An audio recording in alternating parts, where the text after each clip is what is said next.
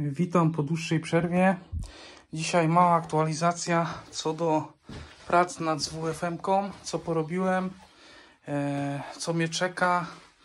E, zapraszam do oglądania. Widzicie, rama została gruntownie wyczyszczona.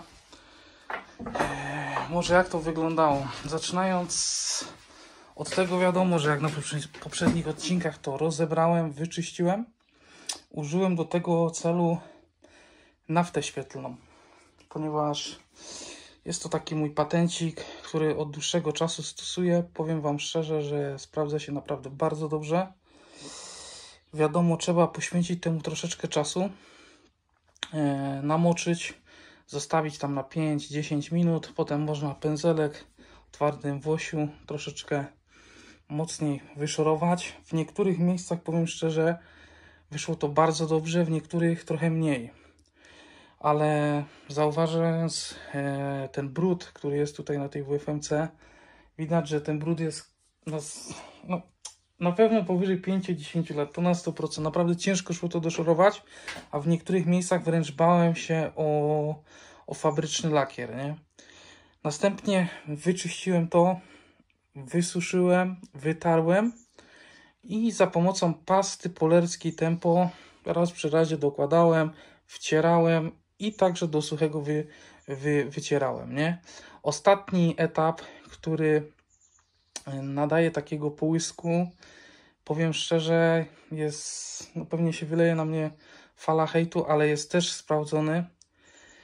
E, możecie użyć oleju roślinnego, czystego, jakiegoś kujawskiego, albo jakiegoś. Wyczytałem też, że jeszcze jest liśniany czy lniany, nie chcę Was teraz kłamać, który też bardzo dobrze się do tego nadaje. Może pokrótce. Olej jest po to, że w miejscach tak na przykład te, tu już po prostu jest, można powiedzieć, je, już lakieru nie ma, jest goła blacha. Po prostu wcierałem to, zostawiałem to na parę minut, wytarłem. Następnie tak samo.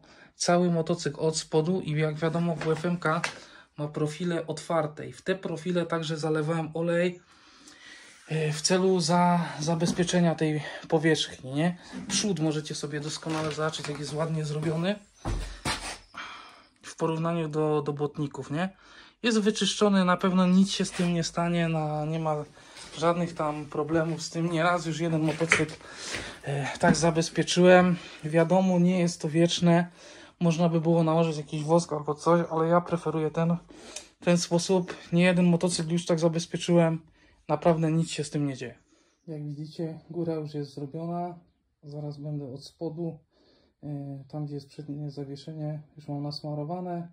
Podobnie tak jak tutaj. Moja osobista rada, weźcie, zwróćcie uwagę na czystość tych bieżni. To jest bardzo ważne. Dobry jakiś e, smar. Mm, ja używam do wszystkiego smar do łożysk tocznych. Zachowajcie czystość, a tam robota iść łatwo i przyjemnie. Jedynie tam zaś drugą osobę można poprosić, żeby Pan pomogła przy skręcaniu tego wszystkiego. Dobra, na dzisiaj już koniec. Jak widzicie, przednie zawieszenie zostało zamontowane wraz z kołem. Wszystko elegancko poskręcane, zamontowane. Myślę, że jest ok. E, pozostało Was tylko zaprosić na następne odcinki. Myślę, że w tym tygodniu grubo bierzemy się za ten temat. Musimy skończyć tą WFM-kę do 25. Pora zamawiać jakieś brakujące części. Zapraszam do następnego.